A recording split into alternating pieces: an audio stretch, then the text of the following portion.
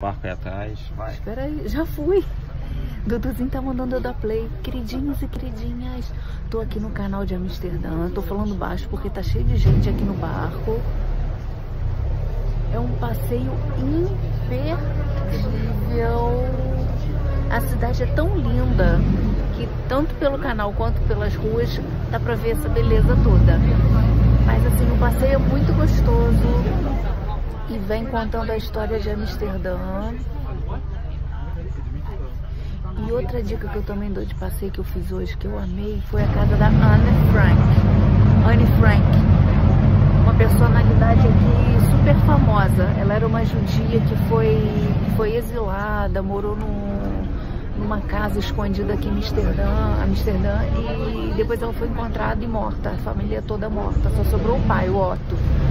E é um passeio também que eu super recomendo. São dois passeios muito importantes. Tanto esse passeio de barco em Amsterdã, quanto, quanto essa casa da Anne Frank.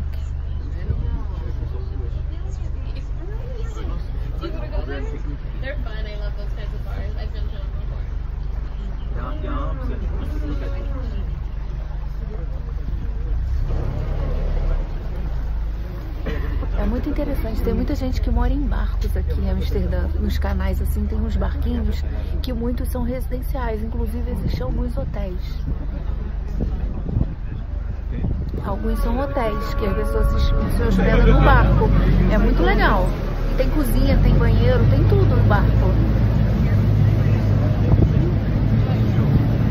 Ó, começou a andar. Gente está andando por toda Amsterdã, mas de vez em quando dá uma paradinha.